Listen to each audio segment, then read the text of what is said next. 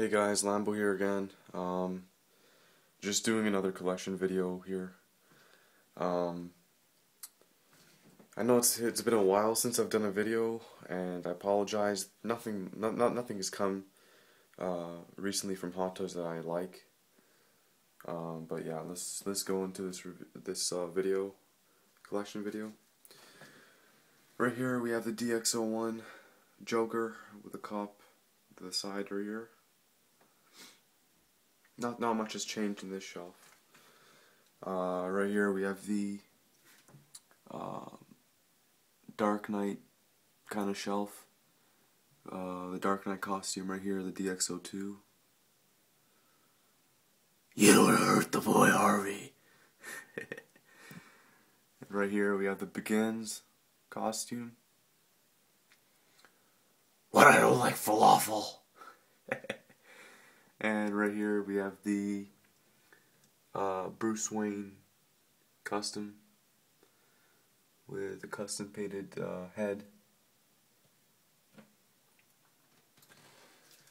Down here we have the Terminator 2 shelf. Um, I'm not bothered to get that new DX uh, Terminator. I think it looks the same, to be honest with you. I might just get the extra parts. Um, Yeah, yeah, come on, get down. And right here we have the 1989 Batman, which is an awesome figure. I love it. Down here we have the custom Batman comic style, uh, which I really like as well.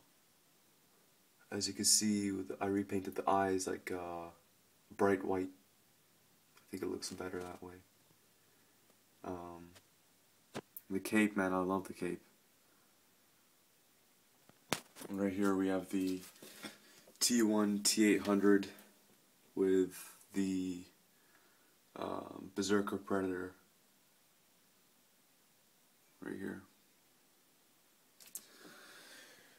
Go and go. Oh, uh, forgot to show this. I got a little Dark Knight Rises thing right there. Um, I think it looks pretty cool with the whole display. Alright, going here.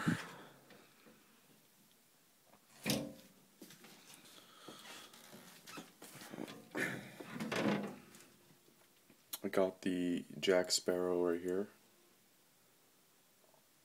with a little map I made. Um, right there.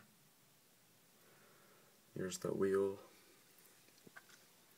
It's a great looking figure, guys.